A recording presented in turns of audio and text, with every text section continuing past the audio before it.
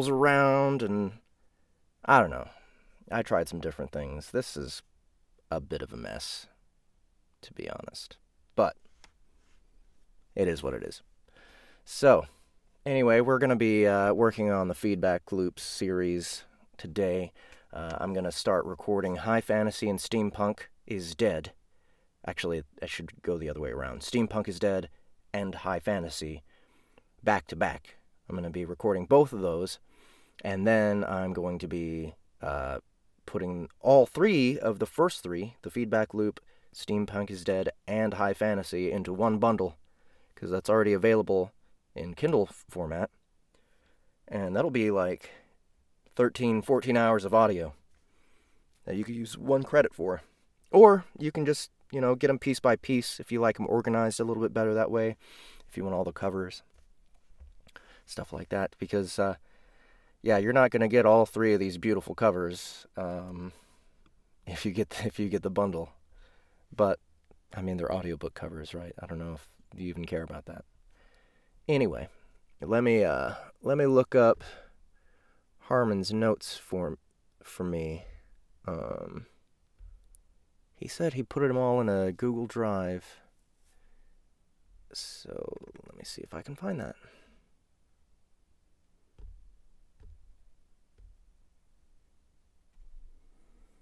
By the way, any of you who are on Twitch, this is a Wednesday, and on Wednesdays I give away audiobooks to anyone who requests them, the first five people to request them, uh, on the Twitch chat.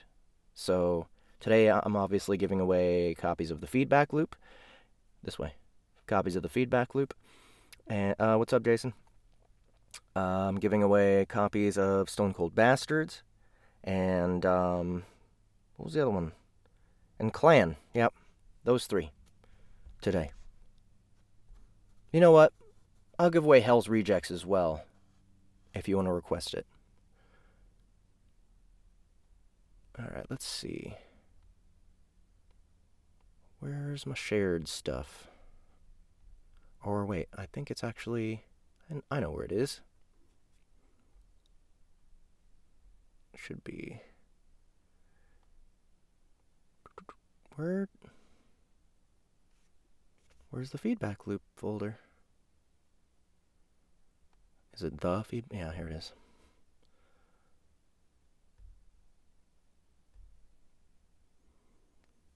Okay, cool.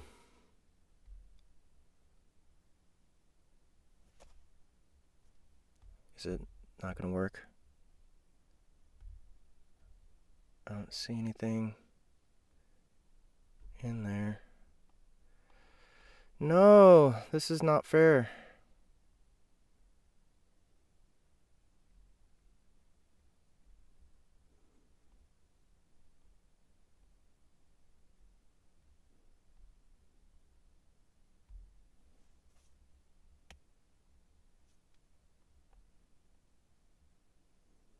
Doc, Rocket, Sophia, and Zedek. Okay.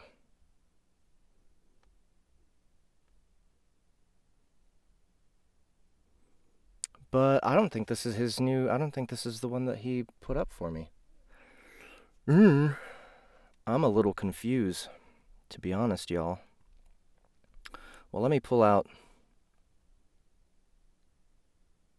the book.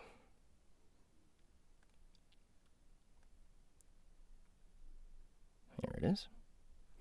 Um, and uh, I don't know, if, for those of you who haven't listened to or read the original feedback loop, um, it's it starts off in a cyber noir world. Uh, it's a LitRPG, and it's about this guy Quantum Hughes who keeps waking up the same day over and over.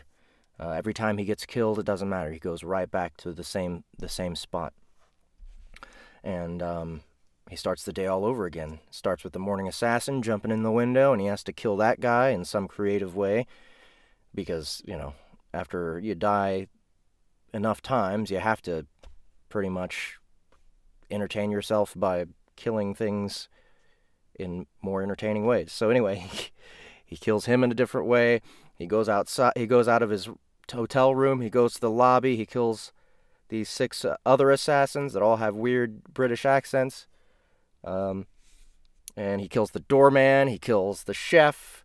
Uh, it, it's just all chaos. It's just all killing chaos. And um, the the first book is him trying to figure out how to get out. And um, eventually, spoilers, sorry guys, he does. And presumably the rest of the series is him trying to help other people who are stuck in other uh, virtual worlds escape. Um, so this technology is very complex, and sometimes people can get can get stuck in however you know however way they they they uh, they screw themselves up. They end up trapped in their game worlds, and him, yeah, he gets out. Sorry, I didn't mean to spoil it for you guys, but he he has to find he has to him and his team, him and the dream team, they're like this government um, this government agency that helps that helps people out of their uh, out of their games. So it's it's kind of like a an episodic thing, and he's there's already six books available that Harmon's written. Like I said, I'm about to record the next two, two numbers two and three. Steampunk is Dead and High Fantasy, and in both of those, um, he he has to he's looking for missing persons. So it kind of does keep that noir feel. Um, even though even though steampunk is dead and high fantasy are based in different themed worlds, um, quantum pretty much keeps that noir chatter he kind of keeps that that noir way of speaking throughout the entire thing anyway. So it keeps it because it's all mysteries, missing persons mysteries and stuff. It keeps that noir feel sort of throughout these different themes, and it it gets pretty fun. But um, well, since I can't find the actual document that uh. I can't find the document that uh,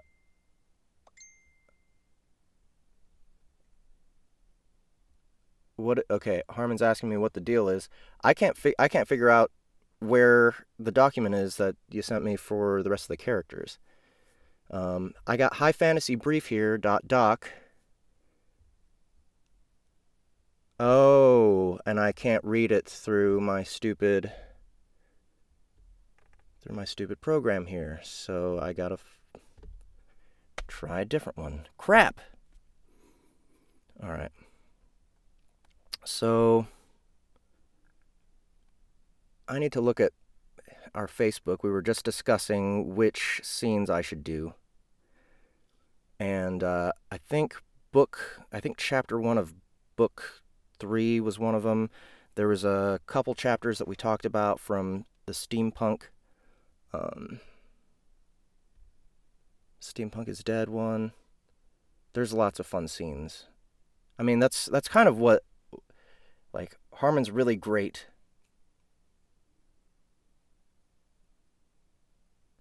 Arc Darkwind? Is that is that you, Harmon? Arc Darkwind? I can't tell. Oh, there you are. No vid for you? Is anyone else having the no vid problem? Oh, what's up, Jay? Oh, that's right, Francis. Um, damn it, guys. Uh, so yeah, the it's it's saying it can't use the doc format. If you can put it in the Google Doc format.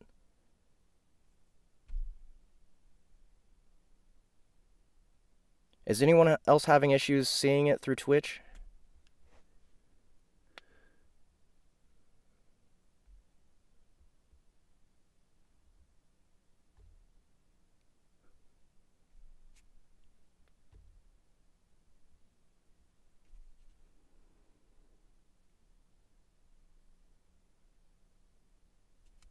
Yeah, it's not working even on this program.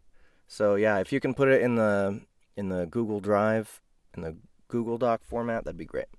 All right, so first, what I'm going to do is I'm going to introduce you to a couple people uh, in real life for Harmon, uh, Harmon for Quantum, um, and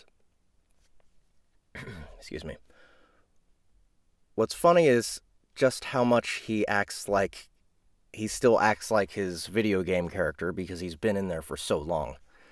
Um, gosh, my iPad is slow. Everything takes forever to do it, to do to switch around. Okay.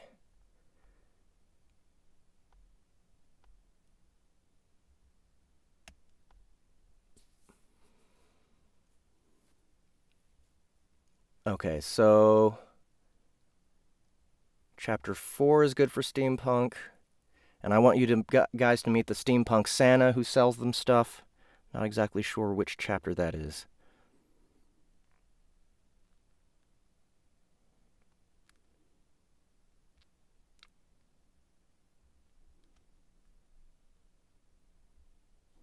Hmm, hmm, hmm. Damn it, guys. I wish I'd had more time to prepare. This is what irks me about my show, or about myself, making the show not as good, is not having proper time to prepare before things. Because I'm always working on stuff right beforehand. Ugh. Haptic chair. This isn't the loop. I shrug as I make way up to the bed.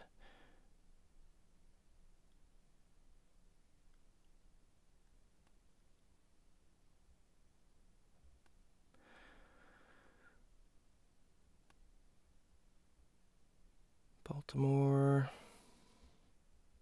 Where are the cops, damn it?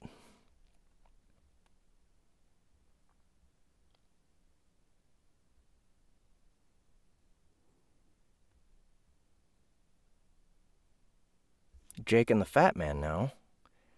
We already talked, we already saw, ah, man. Sorry, guys, I'm having such trouble finding this stupid scene.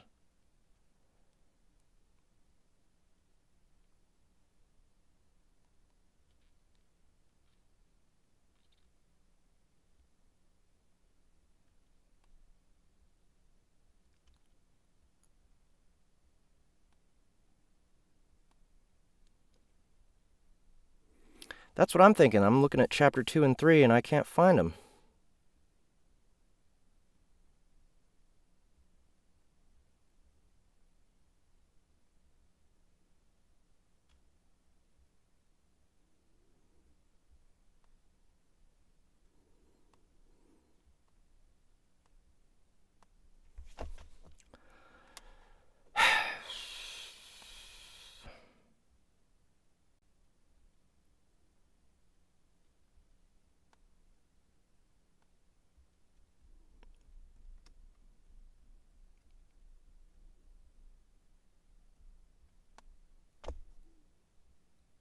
In the morning, you'll meet two. Okay.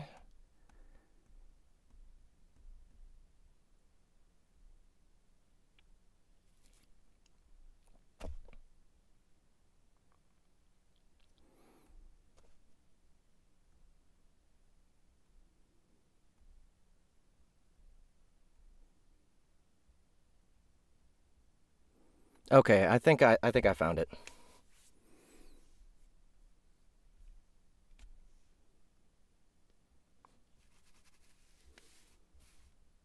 We'll just start right here. Okay, so this is uh, this is Quantum. He's talking to Frances Euphoria. Um, she's kind of like his assistant in the in real life. She kind of, she's kind of like his handler. Um, uh, and she's telling him about the cops that are waiting to to talk to him about when he first woke up and like there's some death and stuff when he first wakes up because someone's already trying to kill him in the real world. Um, so here goes. She definitely handles him, yes.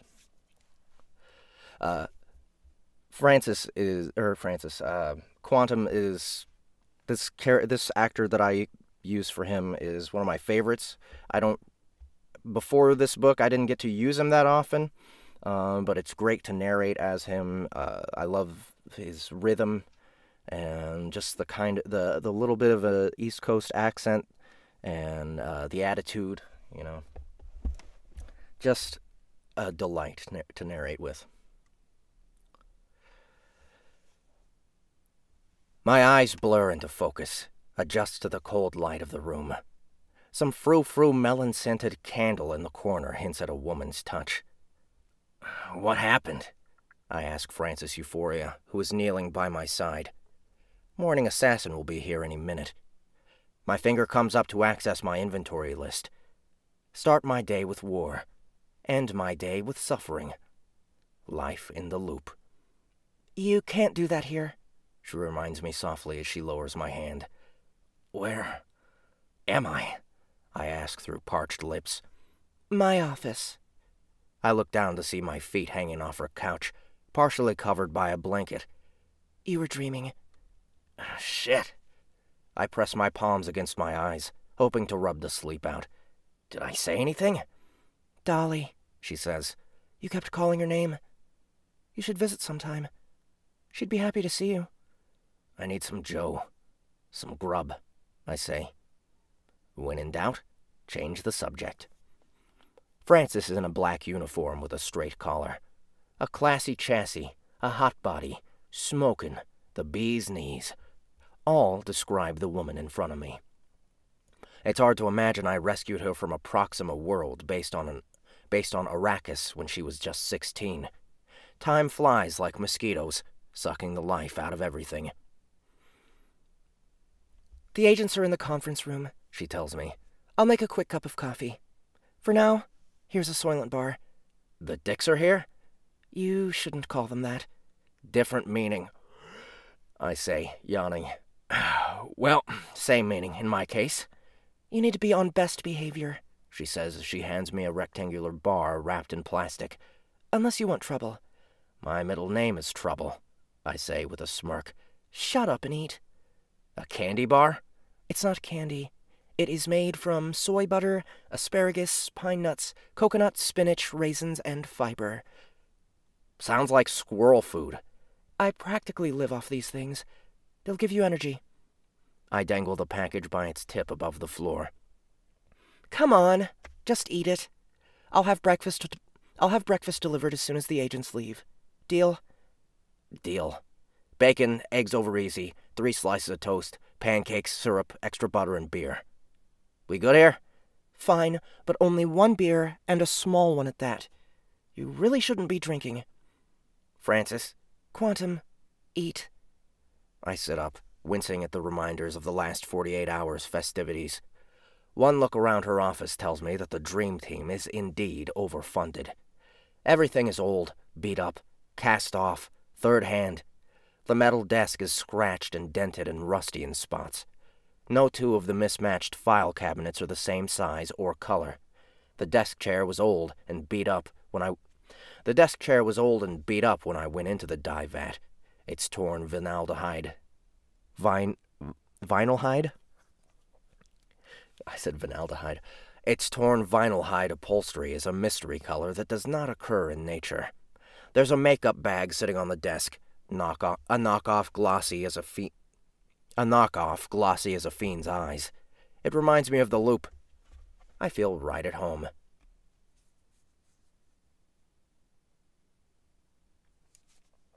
Hold on. Harmon's talking to me here.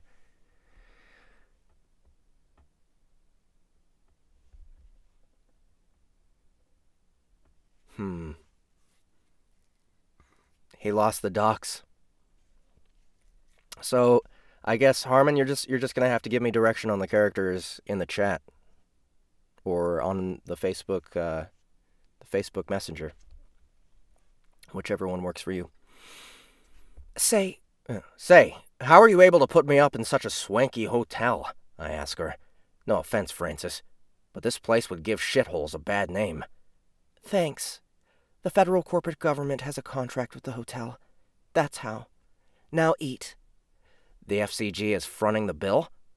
In that case, we should order some room service tonight. Maybe. She nods at a dry cleaning bag. She nods at a dry cleaning bag hanging from her coat rack. Put that on. It's your uniform. The agents are in the conference room, two doors down on the left. I'll brew you some coffee. Got it. I, I stuffed a Soylent bar in my mouth. And remember to mind your manners. I always do, I say, speaking with my mouth full. One more thing, she says. What's that? Keep last night's air rage incident to yourself, okay? We have to be careful who we speak to. At least right now. Why right now? I ask. Just trust me. There are bigger forces in play than just the Revco and Reapers.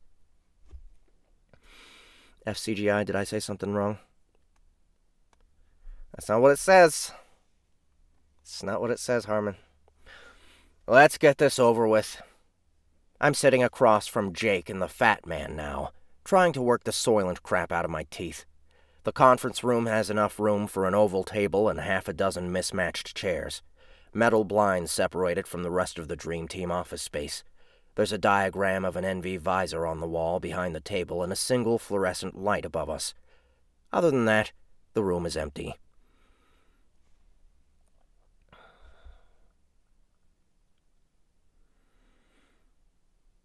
Mr. Hughes, the first agent says, I'm Special Agent Reynolds, and this is Special Agent O'Brien. We're with the Federal Bureau of Investigation and Intelligence Gathering. FBIIGs, huh? FBIIGs. Got it. Agent O'Brien is the older of the two, a fat man with a floral necktie, frayed collar, and food stains on his rumpled, two sizes too small sport jacket. His cheeks are littered with pockmarks, and his nose would give Rudolph a run for his money. His body showcases the cumulative effects of long hours, bad nutrition, too much booze, and not enough exercise, like he's the display in the show window at Wall Macy's during na- during National Don't Do This to Yourself Awareness a Month. Fuck. Ah. Let me try that again, because that's a great line. His body showcases the cumulative effects of long hours, bad nutrition, too much booze, and not enough exercise, like he's the display in the show window at Wall Macy's during National Don't Do This to Yourself Awareness Month. If Bollywood Central Casting had set out to produce a compendium of every stereotypical, fat, surly, burned out, disheveled, inept, corrupt American flatfoot, Agent O'Brien would be that result down to four decimal places. I instantly don't like him. Lovely. Let's see some ID, special agents. They roll their eyes, grunt, sigh, and work in as many other nonverbal demonstrations of annoyance and put outedness as they can at the temerity of a citizen exercising his lawful right to require a law enforcement officer not to unif- not in uniform to provide proof of identity. They take out their leather badge and ID holders, flip them open, flip them closed, and put them away. I wait for them to get comfortably settled. Sorry, special agents. That was too fast. Take 'em back out, lay 'em on the table, and let me get a good look at them.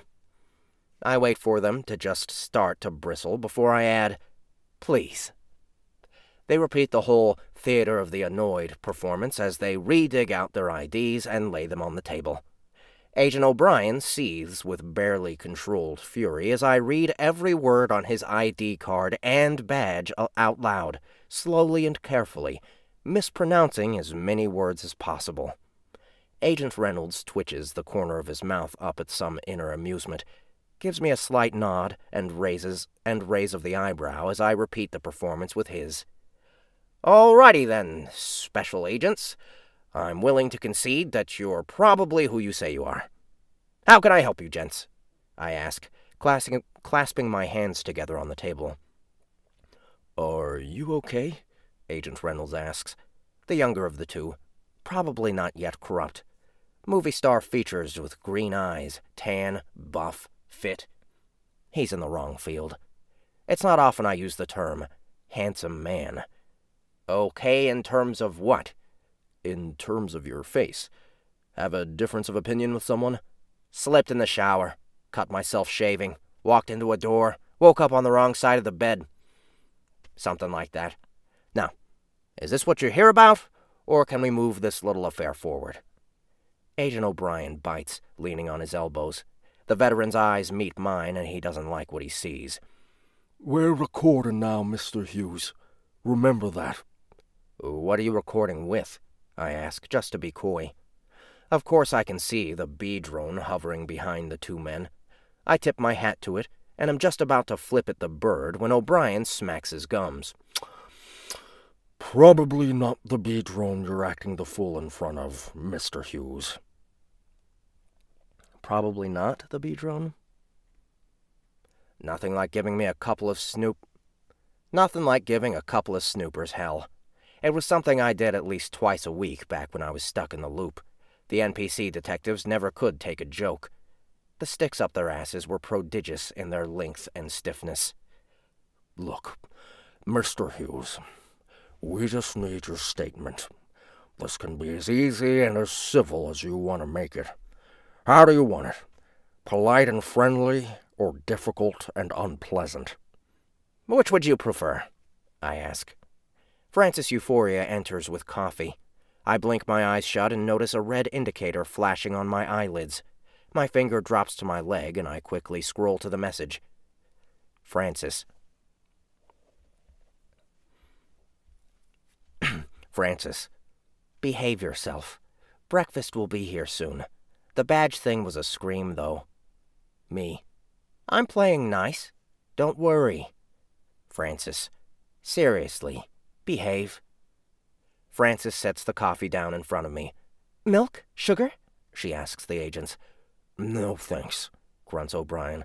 I take it just like I like my women. Hot, black, and not too sweet. Everybody who's not him rolls their eyes. Black for me, please, says Reynolds. I'll have some cre- I'll have some cream, I tell her. She sets the coffees down in front of us, but somehow accident but somehow accidentally gives O'Brien the McStarbucks drive-through treatment with his. Ah, fuck. Damn it! Right after, ah, right where I'm turning the page. Okay. She sets the coffees down in front of us, but somehow accidentally gives O'Brien the McStarbucks. Fuck.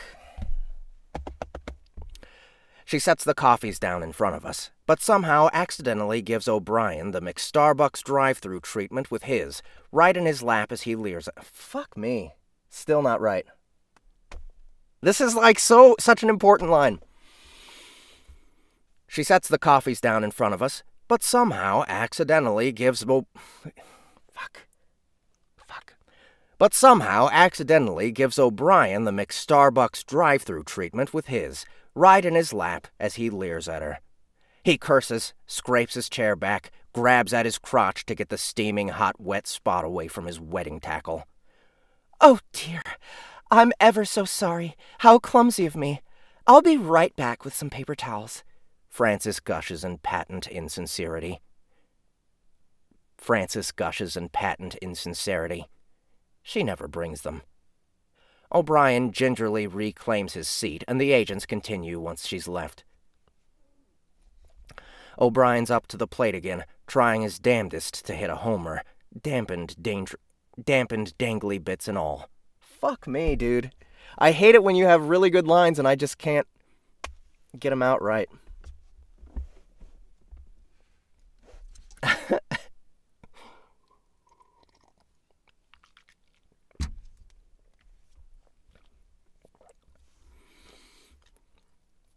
O'Brien is up to the plate again, trying his damnedest to hit a homer, dampened dangly bits and all.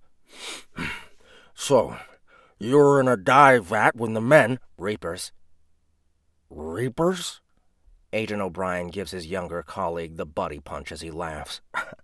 a little early for Halloween, don't you think? He finally says. They are field agents for the Revenue Corporation, I tell him. My eyes drop to my coffee, watching the cream swirl and settle. What makes you think that? he asks. Think? I take a sip of my coffee. The cream has cooled it slightly, but it's still very hot. I know they work for the Revenue Corporation. There's no thinking involved. Do a little research and you'll get the picture. Reapers work in the Proxima Galaxy for the Revenue Corporation. They're techie bastards that hit a lick off of people trapped. that hit a lick. They're techie bastards that hit a lick off of people trapped in digital comas. They've done some vile, dirty, evil things, from imprisoning people in VE dream worlds to coming after them in real life, like they did me. We're not talking rocket science here, fellas. Put one and two together and get three. The evidence we've collected indicates that the suspects were simply trying to steal NV visors, haptic suits, any of the high dollar VE gear from the digital coma ward. Nothing we have in any way even remotely links them to the Revenue Corporation, Agent O'Brien says. Or Reapers. You actually expect me to believe that, baloney? Do you actually believe that? I know that.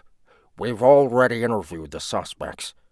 Well, if I agreed with you, we'd both be wrong. Excuse me? Agent O'Brien asks, his jowls wobbling in irritation. Let me try that again. Excuse me?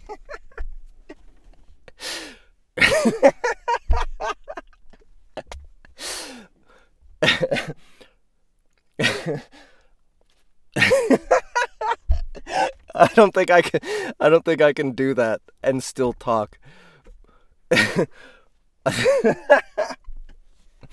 oh man. Excuse me.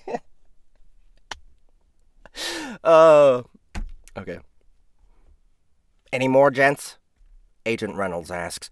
You killed one of the men in self-defense, did you not? No. I didn't kill anybody. The poor unfortunate tech thief got stunned and went face down in the vat goo. I tell Mr. Junior G-Man, thinking of the ponytailed button man I actually did drown. But I'm not going to fess that up to these schmoes. I did what I had to do. Anyone with a teaspoon of sense would have done the same thing. O'Brien picks up where he left off. Unfortunately, that's where your story differs from those of the two suspects we've got in custody. They claim that you attacked them before they could do anything. Now, it might have been self-defense at some point, but according to them, you're the one who started it. I almost snort coffee out of my nose, and I struggle mightily to not give them the satisfaction of seeing me do so. Their whole attitude is really starting to torque my jaws. Really? Really? Okay. I'm guessing that the FBIIG has to have a certain minimum intelligence standards, and I'm even willing to concede that the two of you probably sort of meet them, so you have to be aware of just how stupid that fatuous, lame-brained, dumbass statement makes you sound. I'd been floating in that vat in zero G for eight years with all the bone mass loss and muscle tissue atrophy that that entails. I was so weak I couldn't even pick my ass, never mind pick a fight. I couldn't lift a finger to defend myself when that guy held my face under to drown me. So, number one, no, I didn't start anything. Number two, I didn't kill him. He was in the process of killing me. Number three, Tango Fox Bravo that he drowned. Tango Fox Bravo that he drowned while he was drowning me, but somehow I just can't get all boo hoo over it. O'Brien looks to Agent Reynolds as his nostrils flare. No need to take that tone, Mr. Hughes. That's why we're here. So you can tell your story. Not a story. That's what happened. What about last night? O'Brien asks. Who started that fight then, huh? Last night? What's your angle?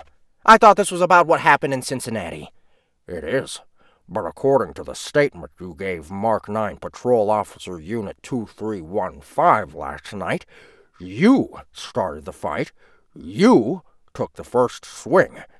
I can play it back for you if you'd like. Last night? Yes, last night. Do you need me to refresh your memory? If you start a fight at a bar for no apparent reason, how are we supposed to believe that you weren't the one to initiate the attack back in the digital coma ward? How? He snarls. He ain't the only one who's peeved. You know, you really do put the special in Special Agent, Special Agent O'Brien. You're comparing pigs and poodles here. They both bristle at that as I take another swing swig from my cup of joe. Let me refer you to my previous statement about my physical incapacity when I woke up in the dive tank. Or do you need me to refresh your memory? I lean to the side and wave at the bee drone. Uh, I lean to the side and wave at the bee drone. Yoo-hoo! Hello! Still recording, right? And and my condition was well documented in my medical records. So, that dog don't hunt. You got nothing, Eliot Ness. Drop it and move on. I'm standing I'm standing now, way too angry to keep my seat, and I bang my cane on the floor to punctuate each point. He stands up too. Yeah, I see your cane, he says. Poor crippled vat junkie.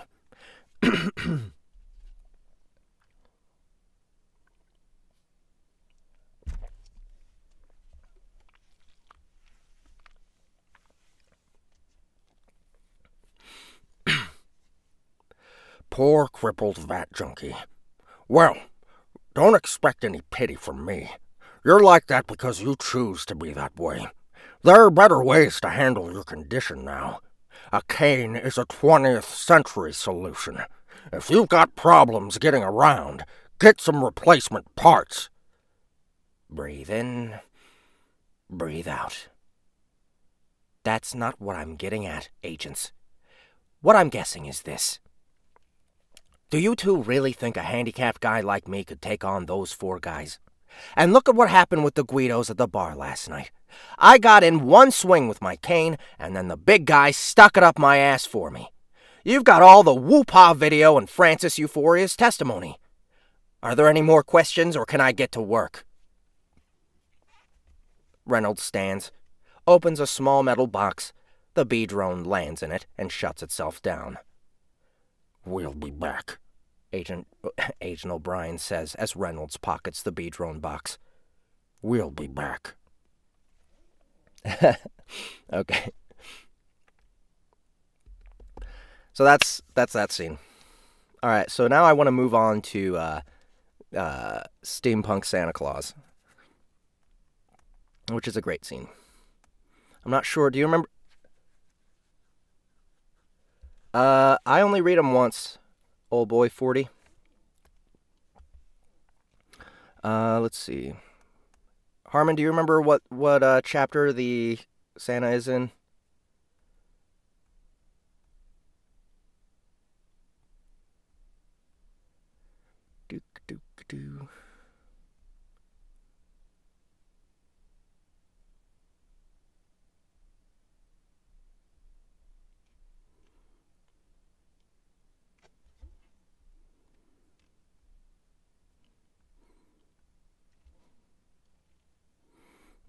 Not chapter 5.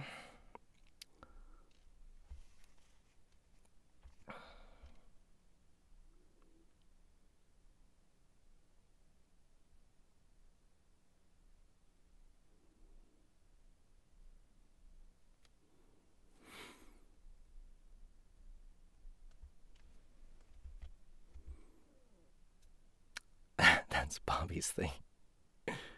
Go sit, Francis. I'm starved. Oh man, I, I really really love these books. Uh.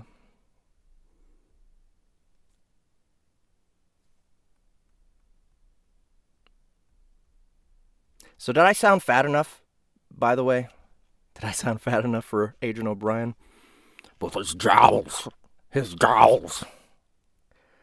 It's very difficult to simulate jowls in speech. Chapter 12. All right. I'm using the uh, the box set, so there's no there's no way to find chapters. Oh, yes, there are. Yes. Sweet.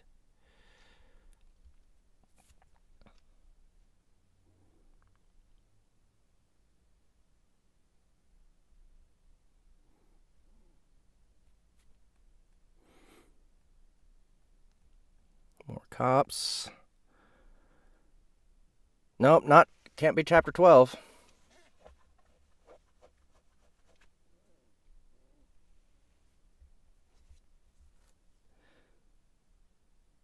No, that's definitely not it. Nope, that was that's way past it. Fuck. Chapter 9? No.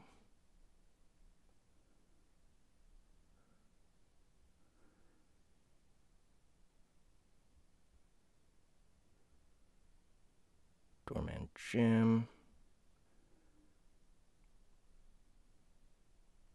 No, it's way before this. Seven. Breakfast burritos, the dive vat, Brian Enotone.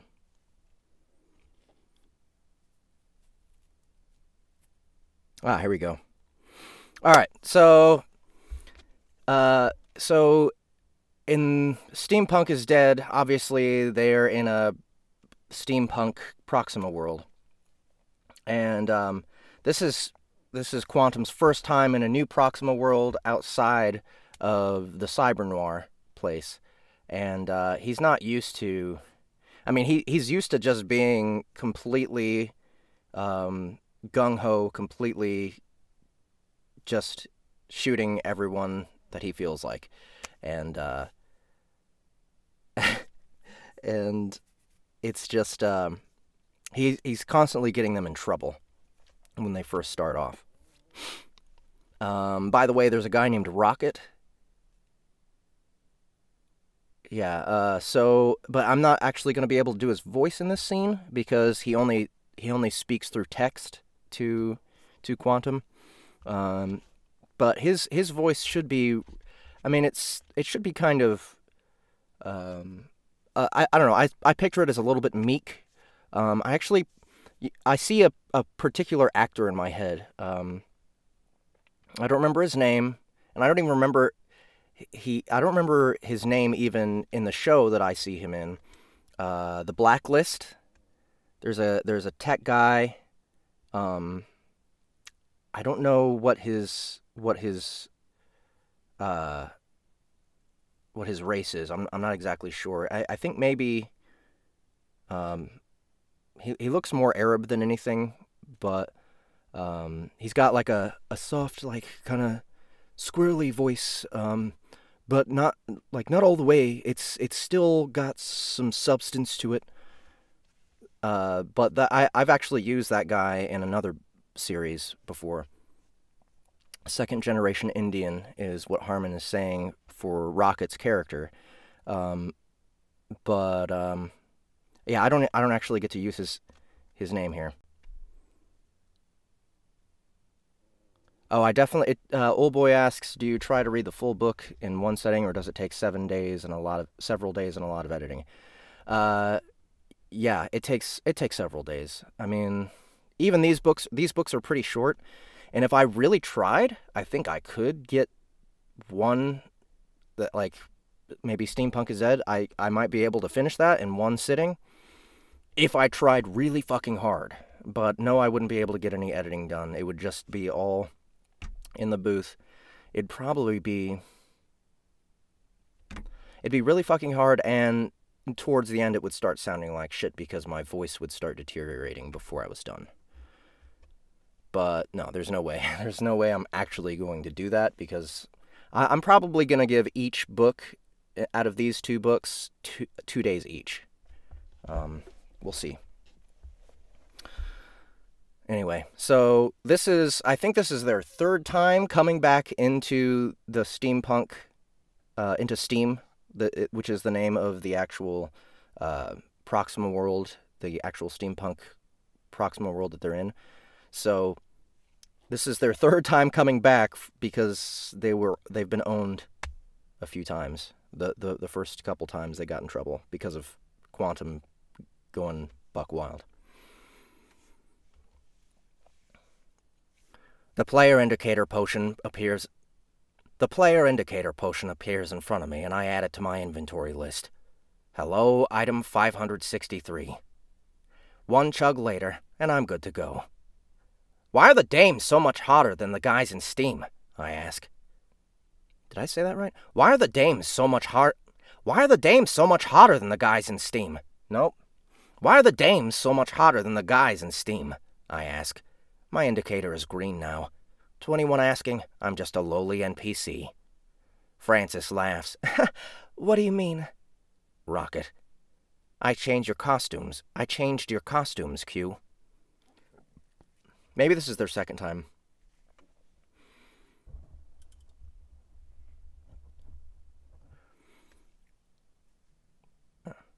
Got it, Rocket, I say aloud.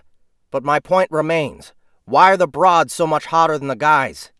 Francis Euphoria and I are in a makeshift bazaar situated around a giant fountain with clockwork cherubs astride mechanical dolphins spraying mist into the air. Her skirt is low slung and dark violet, long in back, short in front, trimmed in black lace. Black leather garters secure thigh high black and white striped stockings, pointed side button shoes with studs and gears encase her tootsies. Her tatas spill over the top of the tightly laced, hooded corset of the same shade and material like foam in a glis... like... Let me see. This is awesome. Her tatas... Her tatas... I, I, I... This accent is making it hard to say tatas for some reason. Her tatas spill over the top of the tightly laced, hooded corset of the same shade and material like foam in a Pilsner glass. Black and white sleevelets that end in fingerless gloves cover her arms. Around her throat, she wears a white and salmon cameo on a black velvet ribbon, and a miniature bowler with two pheasant feathers perches atop her head. And, of course, leeks disguised as the ubiquitous heavy welding glass goggles. She's always been a choice bit of calico, the jammiest bit of jams.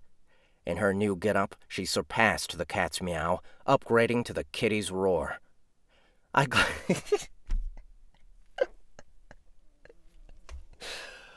Oh man, I such great costume descriptions in this book. I glanced down at my own outfit. A striped overcoat with an ornately tooled leather shoulder rig on top of the jacket. A black leather cum... cummerbund? A black leather cummerbund with... See, I never knew how to spell that word or how to pronounce it properly. It's always been like...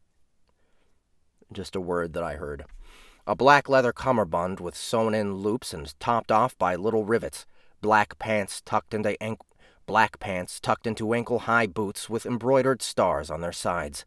Nothing about this outfit Nothing about this outfit makes sense. Don't worry, you look cool, Francis says. True to Rocket's hack, her handle reads Steam Girl 889. She squeezes her fingers together and the gears on her arm whir to life. The shotgun barrel lifts out of her arm and returns to its not-so-subtle docking station. Cool? Are you still drunk? I kind of like steam quantum better than loop quantum. Eh. I kind of like steam quantum better than loop quantum. Keep it up, Francis. Rocket. Would you like a mask? No, Atlas, I don't want a mask. I just want... I want to look like a guy who means business, not a guy on his way to a gothic Halloween party. Rocket. Okay, no cummerbund next time. I equip my wrist gun, item 560, which attaches itself to the gear on my right wrist. The sound of gears shifting indicates that it's ready. Aiming my arm in front of me, I fire a pretend shot at a smokestack in the distance. The two moons sitting in the air behind the smokestack gets me wondering. Is it always night here?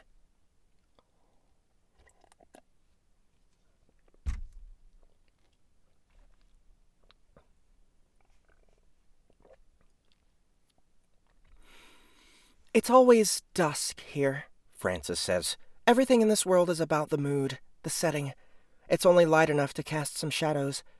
And it's like this everywhere? Rocket. Actually, Francis is wrong. It's only like this around Locus.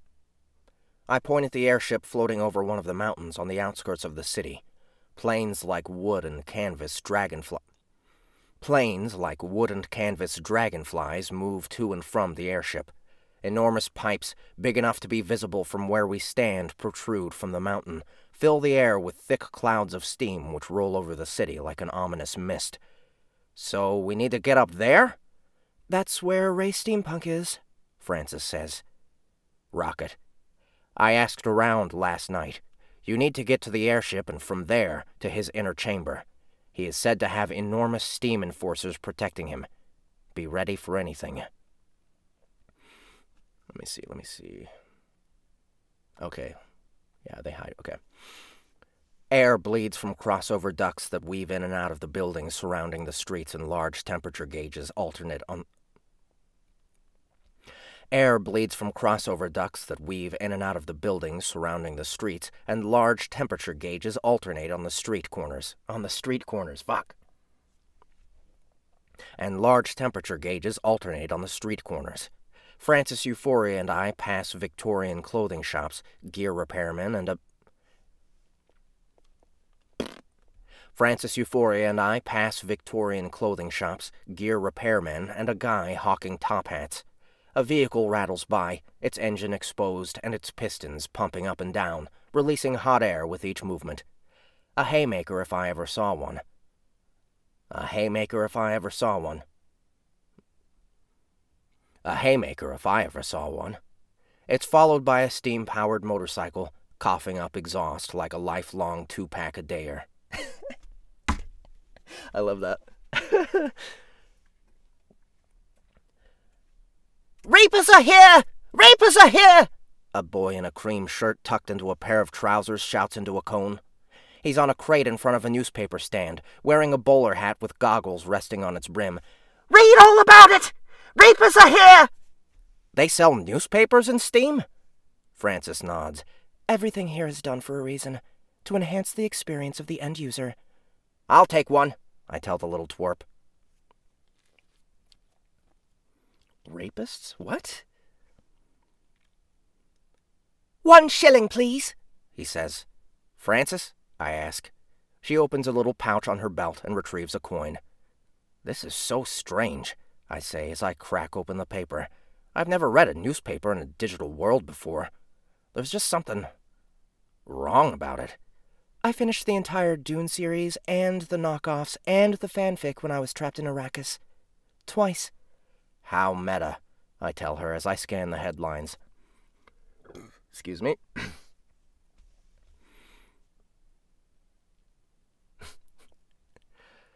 ah, here we are. I turn the paper to Frances, showing, showing her our sepia toned, woodcut style portraiture from yesterday. It's a good thing I was wearing the skull mask. You, on the other hand. Francis's hair changes from red to blonde. Better. The newspaper boy points to the sky, and I follow his finger to something moving through the air. What is it? I ask. He looks at me incredulously. You've never seen that before. No, I say. We are new NPCs. Just generated. The little crumb snatcher gives me a funny look. They're air enforcers. An explosion about a hundred meters away rumbles the ground.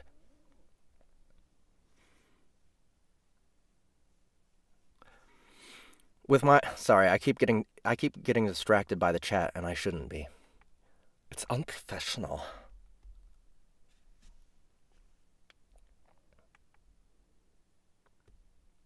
Hmm, Here we go. I need to get the uh, other. Uh, I haven't been uh, using the chat on my iPad, which is better, actually. Because then I can go back, scroll back. It's easier. An explosion about a hundred meters away rumbles the ground. With my advanced abilities bar activated, the world moves like molasses around me, and I aim my wrist gun in the direction of the explosion. I hold off firing when I see a pair of Reapers rip through the explosion riding steam powered motorcycles. Reapers. Their bodies clad in Lee Mouton Road Warrior leather and fantasy Viking wear. Their muscles inflated, their masks deformed skulls. I'm just about to fire at them when Francis grabs my firing arm and jolts me out of advanced abilities. What? I ask, catching my balance. The Reapers are getting away! My finger comes up so I can equip my mutant hack. Quantum! Francis kicks my feet out from under me and lands on top of me just as an air enforcer sails over us. His canvas wings spread wide as he controls his craft through joysticks attached to his harness. He's followed by three more enforcers, two male and one female. They wear matching leather aviator helmets with flaps that extend over their ears. Their eyes are covered by goggles. The blue indicators show they're human. Their slipstream scatters the newspapers into the air. The newsboy cries out in dismay and chagrin. Puffs of steam trail behind the air enforcers as they continue their pursuit. We need to get in on this, I say on my feet again. More are com- More are coming, the newsboy shouts. The newsboy shouts. He leaps up and pulls down a slatted wooden covering for his newspaper kiosk. He's gone in a flash, logged out. Oh, he's a player.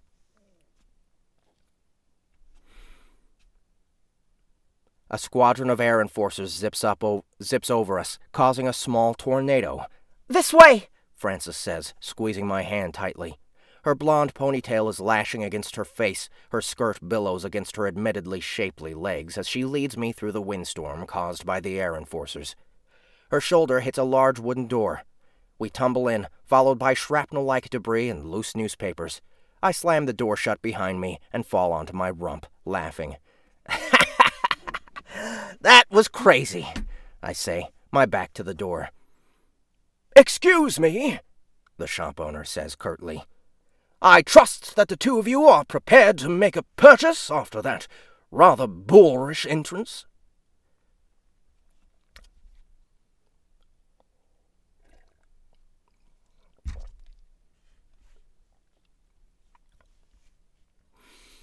My next question comes naturally. You don't happen to have an air enforcer set up, do you? Something to fly with? I stand up, dust off my striped jacket, and make sure everything is in working order. Frances does the same, straightens her skirt, and adjusts her boobage. A black cat curves through my legs, making very uncat-like chicken clucking noises. Why would an NPC want air enforcer gear? The shop owner asks with a twinkle in his eyes. He has a tremendous Billy F. Gibbons white beard that goes all the way down to his stomach and is stylishly curled at the ends. He wears a red frock coat over a pearl gray vest. The golden watch chain is a nice touch, shows that he pays attention to detail. Who doesn't want to fly around and see the sights? I ask. The cat rubs around my ankles and clucks like a chicken some more. I reach down and run my fingers through its silky coat, which it seems to like. Aha! You're using a potion to mask your player indicators, the shop owner says.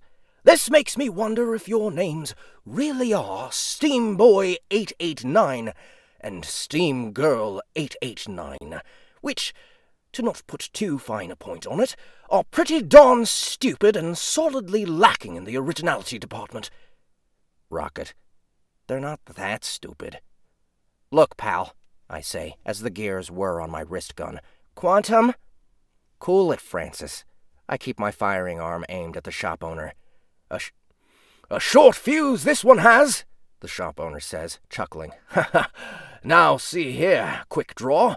I don't care if you're masking your identity or not. That's your business. I couldn't be less interested. However, you barge into my shop the way you just did. You buy something. That strikes me as a relatively simple and straightforward business proposition. Does it strike you that way as well? Or do you perhaps require some convincing? The man taps his toe on the floor, and I hear the sound of grinding machinery as a panel above and behind him sli- slides open to reveal a cannon sized barrel, pointing directly at us. Nice one, Quantum, says Steam Girl 889. Way to make friends and influence people. Allow me to showcase my patented efficacious exothermic enthalopap. Uh, efficacious exothermic enthalop. Enthal. Enthal. Enthalaptic. Okay. Efficacious exothermic enthalaptic. Allow me to showcase my patented efficacious exothermic enthalaptic equilibrator. It will freeze you solid faster than a fish can fart, says the, says the proprietor. Does Sir wish a first-hand demonstration of its efficiency? Freeze solid? How's that even possible? Rocket, it's possible because of steam. Now's not a good time, Big R. I await your definitive answer. he prompts as he twists the end of his white beard. Inquiring minds want to know. I look to Francis. No, don't need a demonstration. You?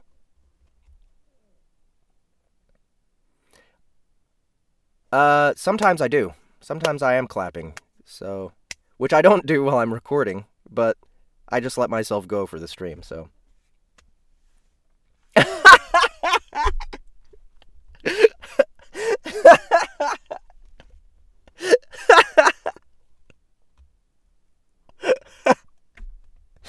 oh my god, I love the chat.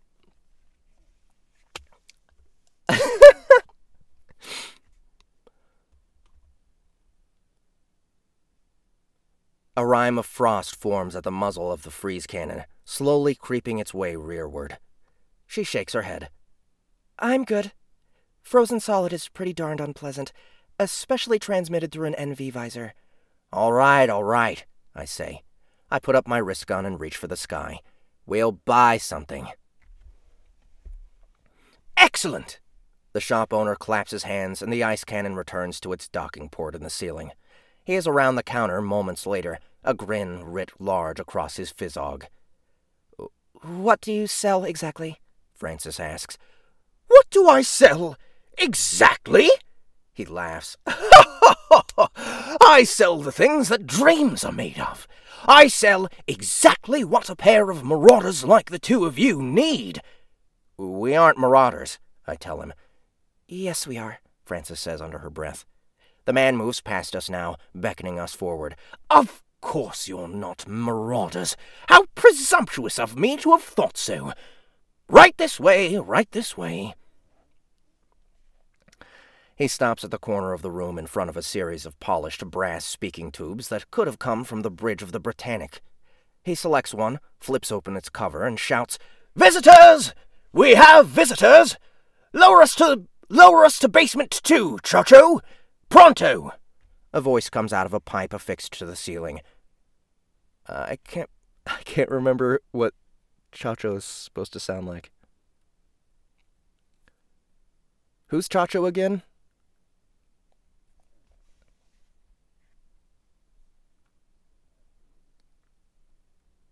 Is he a monkey? What the fuck? Give me some direction for Chacho. Sleepy, okay. I'm sleeping. You can't be sleeping if you're speaking to me, Chacho. Wakey, wakey, hands off Snakey. I don't pay you to sleep. Pay? Huh. Come, come, the shop owner says as Francis and I approach him cautious, cautiously.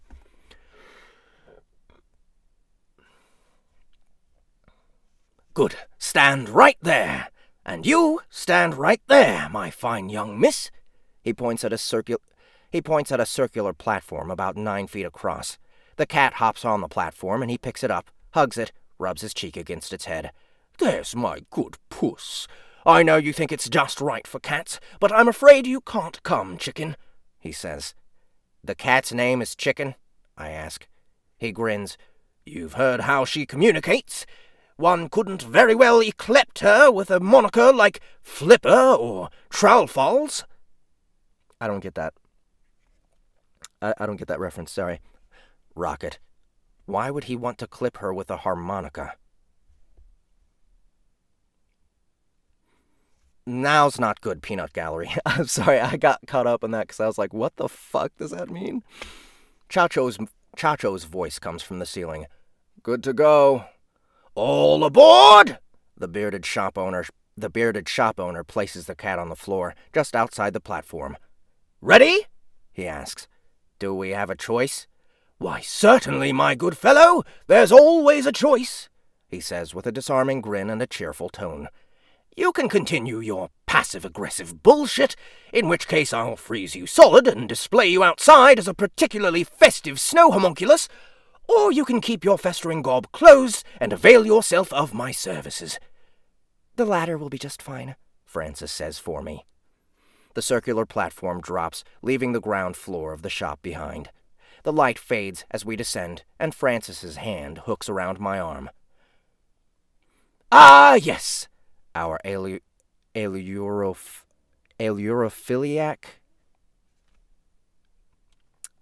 What is this word? Ailurophiliac. I, I gotta look it up. Can't help it.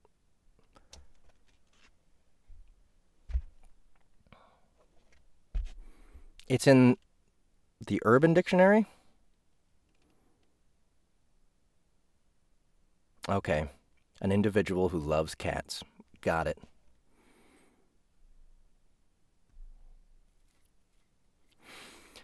Ah, yes! Our ailurophiliac host exclaims as the platform comes to a stop. Here we are! My charming young.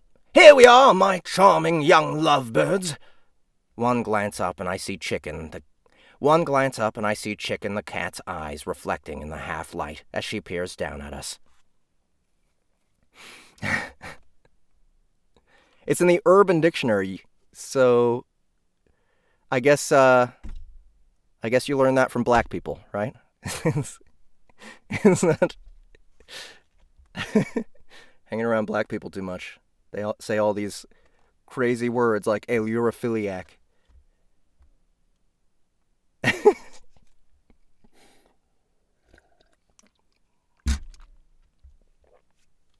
it still says dictionary.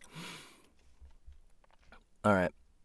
So, I don't know. I kind of want to keep going, but I don't want to spoil the scene anymore. Because this is like his only scene. Okay. So, let's go ahead and do one more scene. Um, let's see. Harmon, are there any other characters that you want to hear? I mean, we've done almost all of them from uh, Steampunk is Dead, I think. Uh, let's see. I guess you'd need to hear uh, Roy Steampunk.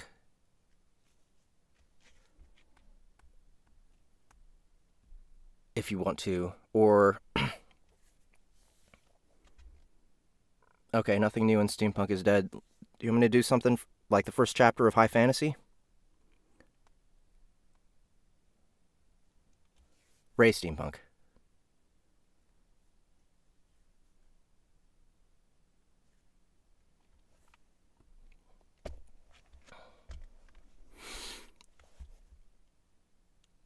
Okay. He wants me to do a mad action scene, so this is chapter one of High Fantasy.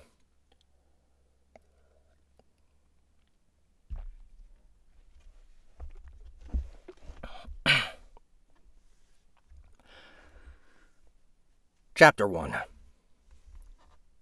Aiden is in a basketball jersey with the initials MA across his back.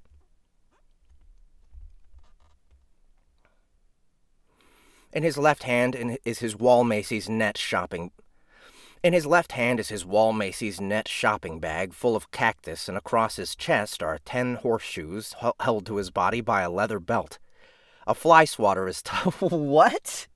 Hold on. Let me start this over. Aiden is in a basketball jersey with the initials MA across his back. In his left hand is his Wall Macy's net shopping bag full of cactus, and across his chest are ten horseshoes held to his body by a leather belt. A fly swatter is tucked into the front of his basketball shorts alongside a pair of rusty gardening shears. Do you see Tony? He asks me, roller skating in a circle.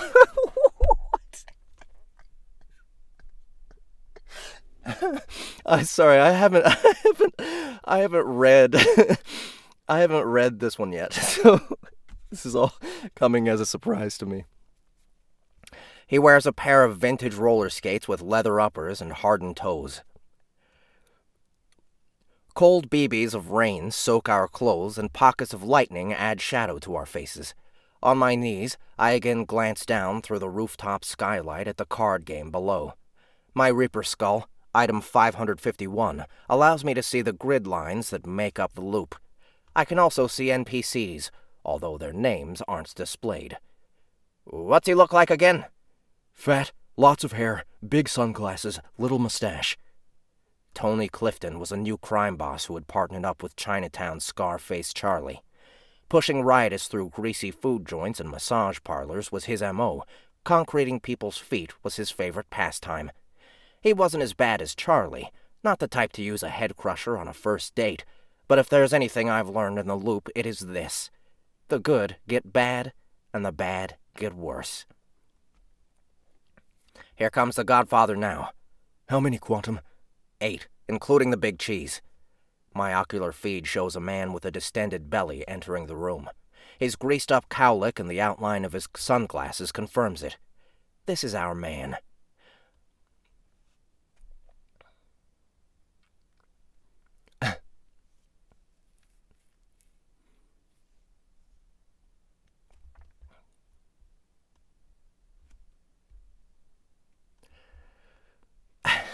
Sorry. My skull mask dematerializes as it returns to my. My skull mask dematerializes as it returns to my inventory list. I place my boxing glove on my hand, item 32, and twist the handle on my antique selfie stick, item 99.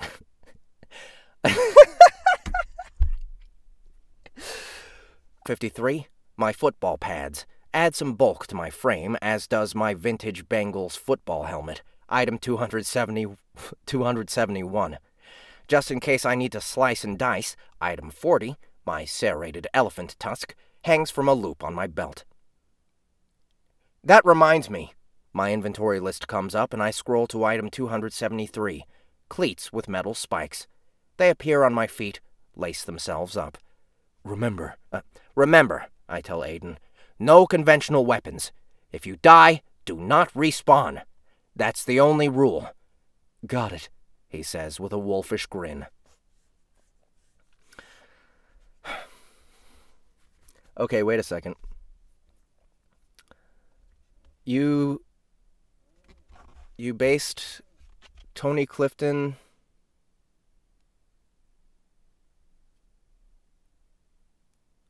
Off. Okay, is this just gonna be an image? Okay. Okay. Our non conventional weapons rule means that we can't blow through the ceiling as we normally would.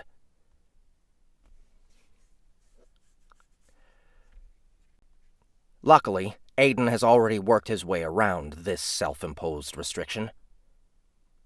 Just leap over, just leap over holding on to this, he tells me as he fastens the ro- rope to a rooftop air conditioner unit. Excuse me. Activate your advanced abilities and rocket through the window. I'll hit the other side at the same time. Nothing to it. Don't kill Tony, I remind him. Same to you. Excuse me. I jam my selfie stick in my belt, keeping my boxing glove on my right hand. I'm on the edge of the rooftop seconds later, holding the rope with one hand and waiting for Aiden's signal. The cold rain picks up and runs into my eyes. Come on, Dolly, lighten up, will ya? I ask the sky. The rain stops completely, but the clouds stay dark. Thanks, doll. Aiden's finger comes up and he twists, the, twists it in the air like a mini lasso. Pushing off the ledge, I shoot out over the rooftop and I activate my advanced abilities bar, giving me both the juice and the ability to violate the Einsteinian space-time continuum. Cleats, cleats plus glass equals Shattersville. I land in the room and roll out, brandishing my selfie stick. One of the button men watching the card game goes for his gat, but I reenact the caning of. One of the button men watching the card game goes for his gat, but I reenact the caning of Senator Charles Sumner and he drops like 200 pounds of bad habit in a cheap suit. I give his face the cube steak treatment as I dance a flamenco a la cleats with my selfie stick clenched between my teeth. Olay! a ferret faced, greasy little weasel of a man is somewhat faster than his card playing buddies, and even in slow mo gets his 45 out and pointed right at my heart, just as Aiden frisbees a horseshoe into the back of his head. Holy horseshoe headache, Batman. Mr. M- Damn it, Mus- Mustelidae. Mustelidae?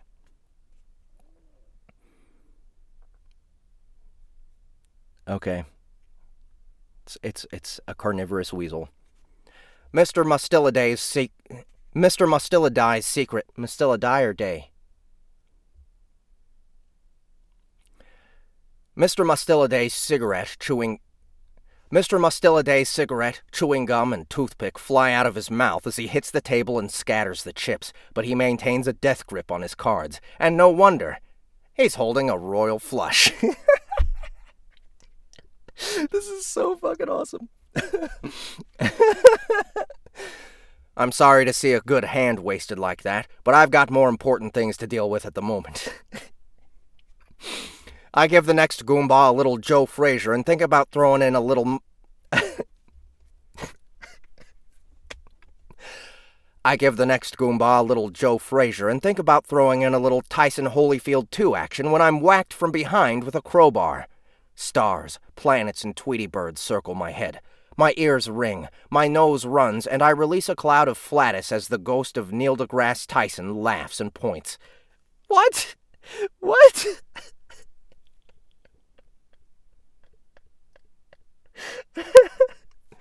my life bar drops by 25%, and I can't make my hands or feet obey my commands as I reel forward from the blow. Aiden to the rescue with a pair of flying horseshoes, which catch the crowbar swinging no goodnick right in the cake hole and lodge there like a pair of politically incorrect cartoon ubang. Ubangi? Oh! and lodge there like a pair of politically incorrect cartoon Ubangi lip plates. He need.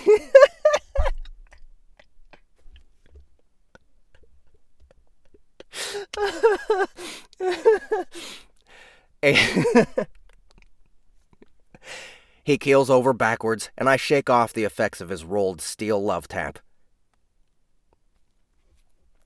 He keels over backwards, and I shake off the effects of his rolled steel love tap. I drop my AA bar for a moment to sink a ri- hard right into the beezer of the chubby cheeked Shylock just getting a grip on his gun. He squeezes the trigger in response and fires the round out the side of his jacket and into Tony Clifton's foot, who screams like the lunch whistle at the Big Sissy Manufacturing Company. My finger comes up and a pot of lawsuit temperature mixed Starbucks Ultra Calf Cap Espresso, item 9, materializes in my other hand. A flick of my wrist and the overpriced hipster tri-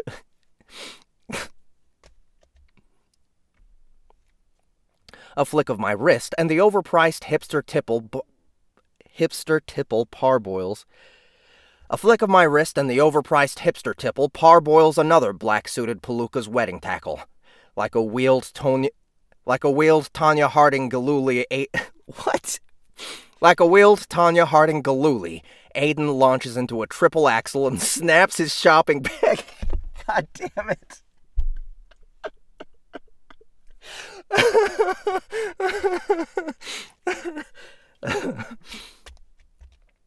Let me try that again.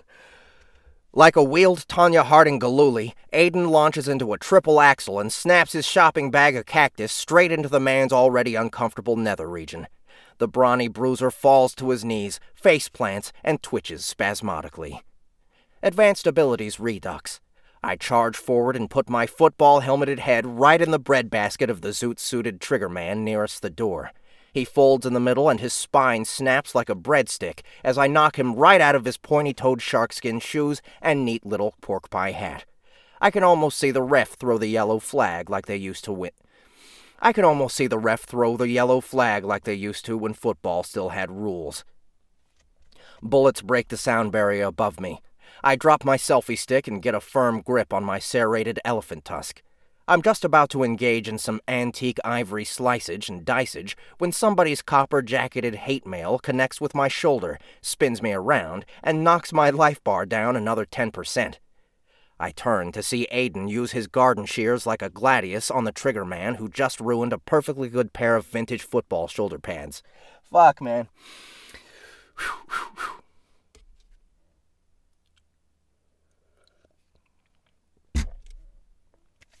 Let me try that again. This is tough. I turn to see Aiden use his garden shears like a gladius on the trigger man who just ruined a perfectly good pair of vintage football shoulder pads. I take this moment to do a little sawing on the man's throat beneath me. Saw, saw, saw goes the saw, and bleed, bleed, bleed goes the throat, and I'm done before the nursery rhyme can finish.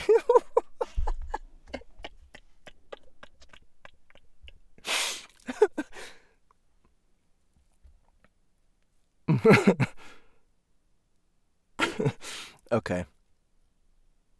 All right, all right. You got me. I don't know. That sounds like that sounds like O'Brien, doesn't it?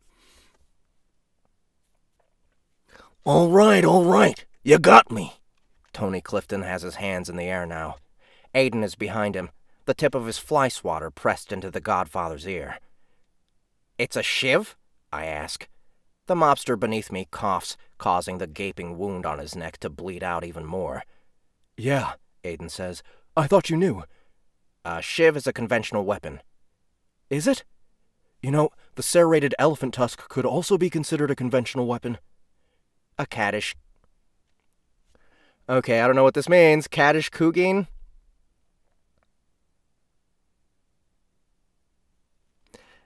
Uh, eventually, eventually, Sin, I will be able to.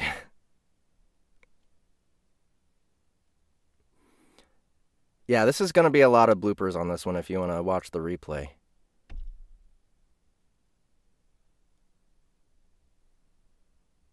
Okay, Kugin.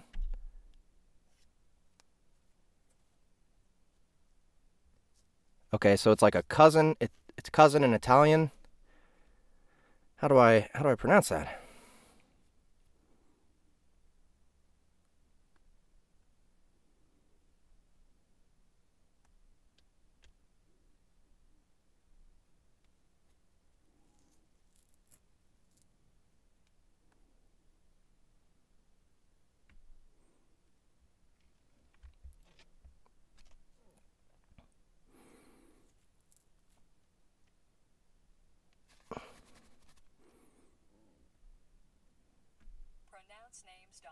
No, that's not it. All right, let's go with Forvo.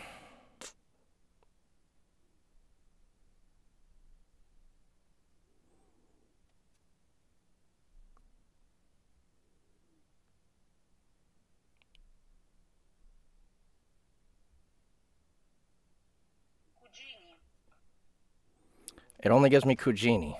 So Cugine.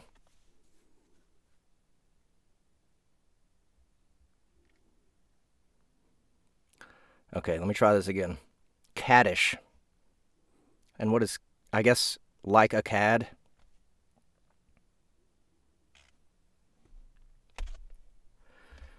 A caddish Kujin near one of the smashed windows coughs. The man tries to stand, tumbles forward in a slump as his digital ghost exits his body.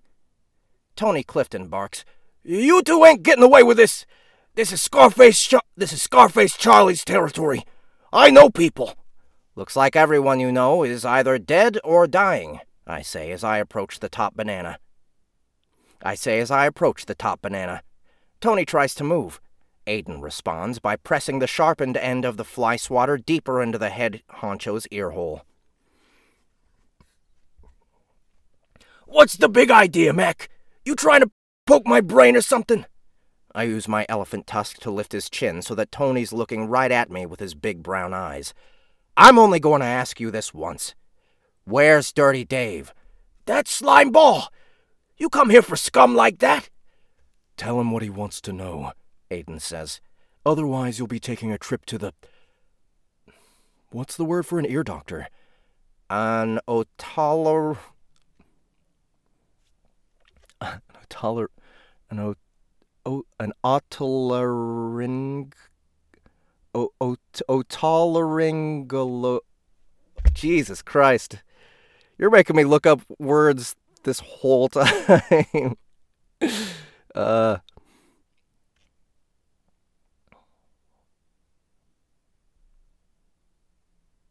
Come on.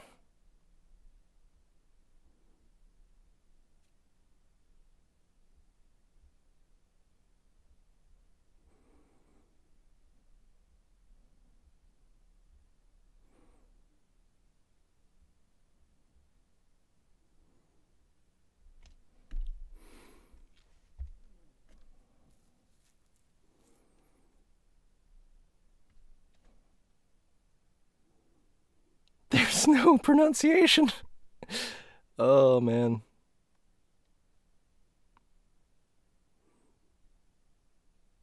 All right. I just checked a dictionary. There's no that there's usually a pronunciation for and it's not there. Here we go. Here we go. Found something on on uh on YouTube.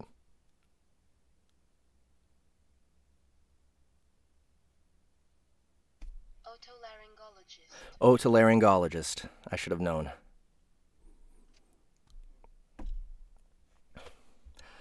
An otolaryngologist. OTA, otolaryngologist. An ot an otolaryngol. Oh, fuck me. An ot an otolaryngol an otolaryngologist. Otolaryngologist. An otolaryngologist. Tony says matter of factly. I see mine regularly. You should too. I'll look into it. I'll look into it. That's great, I tell both of them, but we ain't here for a checkup. Where's Dirty Dave? That cafone owes me money. He gr- that cafone owes me money. He growls. A vein appears on the side of his head. How much does he owe you? More credit than you got. Aiden gets my drift and steps back, allowing me to sink a fist into the boss man's schnozzle.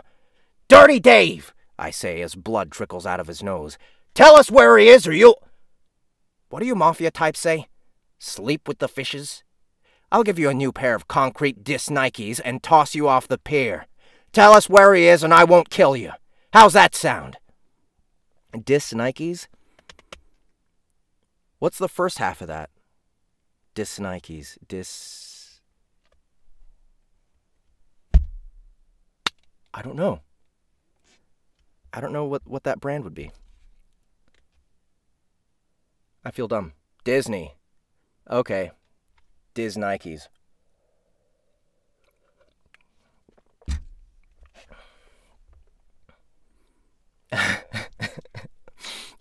Disney Nike, gotcha. I see. I wasn't even. I was just thinking of different, uh, different shoe brands. He curls his lips, weighs his options. There's some real hungry fish at the pier. No, there's some real hungry fish at the pier. I tell him. Piranhas too. You got options here, Tony. I'm the one that put those piranhas there, he admits. And you're right. They are hungry. I don't know why you're so interested in that baboo. We have our reasons, I tell him. Dirty Dave is here in Chinatown, practically under your shoes. No shit, Sherlock, but where in Chinatown? Aiden gives Gotti. Aiden gives Gotti Light a quick rabbit punch with his free hand. What the hell was that for? Hurry up. Relax already, Tony says. I'm talking, ain't I? Not, not fast enough, I tell the bloody kingpin. Chinese grocery. Up the street. You got him in the freezer? Yeah, he tells me, hanging from a meat hook like the carcass that he is. Good. Thanks, Tony, I say. Do what you gotta do, Aiden. Can I borrow your elephant tusk? he asks. Not a problem. I drop the tusk on the table and turn to the door. You said you wouldn't kill me! Tony shouts, spittle spraying from his mouth. I won't, I say over my shoulder. He will. All right. So, um, that that's probably gonna have to be it for tonight. We've gone an hour and a half. Uh, but yeah, that was one of the most fun scenes ever. Uh, so uh, does it say later on in this chapter why they had to not do the conventional weaponry? Was it just something they did for fun? You don't have to answer that. People can find out when they listen. Um, so yeah, I'm gonna be recording both of these back to back. Steampunk is Dead and High Fantasy. Uh, and um, let's see, we're actually gonna be putting all three of them into a bundle, the first three, and so you'll be able to listen to. You'll be able to use one credit for the, all three books in the first, in all three of the first books in the series. So So if you're if you've already got the first book, you're still saving money if you get the second one through uh, through through the bundle. If you haven't listened to the first one, just wait. Wait till uh, these two come out, and you can still get them singly if you want. You know, if you like to collect stuff, or if you just want the, if you just I, I don't know, it's a little bit more organized that way. You get all the covers. So, uh, yeah, so much fun, guys. I can't wait to get started recording this. I'm going to get started recording this tomorrow. I still have to finish up Unde- Unbound Deathlord. Uh, I had some hiccups in the like the first two days of this week. Some things that really uh, stopped me from re- recording and put me behind. But book two for Unbound Deathlord is not finished yet. It was supposed to be. Um, I scheduled these these three weeks to do Unbound Deathlord one and two, but since book two is not finished, um, I get to get started on this early. So, uh, and then Delvers 2 will be next week. I'm, I'm going to do next Wednesday, I'm going to have Blaze on and we're going to work out whatever new characters that are there in Delvers 2 and um, find the fun scenes to narrate. So come back for that. Uh, anyone who. Did anyone request any audiobooks? I don't think so. I really should re- remind people every once in a while uh, to request one, but too late. You guys are too late.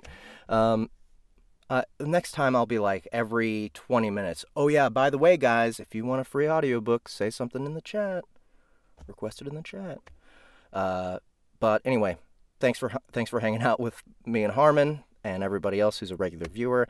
This Sunday, I'll be doing another requests only of Sound Booth Theater Live, but I'm also going to be doing.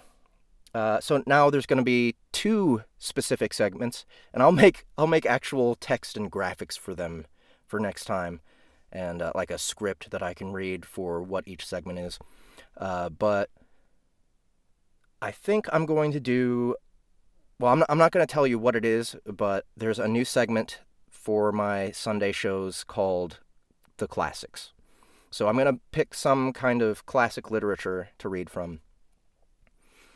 Um, and then also Cringe Theater at the end. I'm going to continue Katy Perry versus Jason by Kitty Glitter, which is amazing.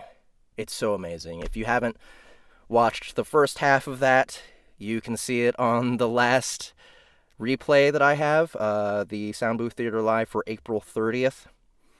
The Cringe Theater on there is the first half of Katy Perry versus Jason, and it's glorious. So definitely go check that out. If you like the bloopers here, holy shit. Um, so have fun, guys.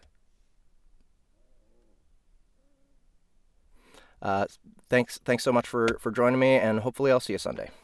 And also go buy the feedback loop if you if you're if you're too impatient to wait for the bundle to come out. The first one is already available on Audible, so there it is.